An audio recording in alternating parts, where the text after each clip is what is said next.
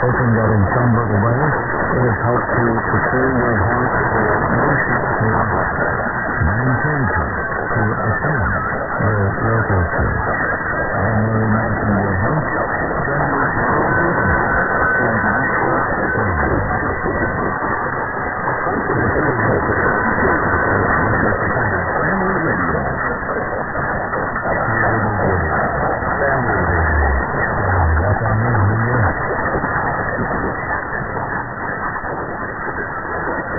60 years, Family Radio has been a testimony of God's faithfulness. I'm Randy Jack, syndicated service Family Radio. 60 years ago, no one imagined how God would have turned a small broadcasting station in San Francisco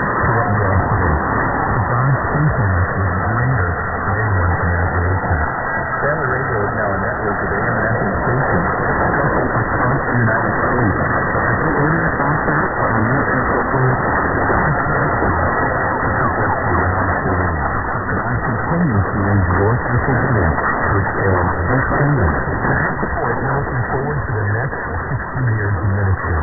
Be a part of the mission by giving visiting familyradio.org or call 800 543 1497. Holiday Outlook.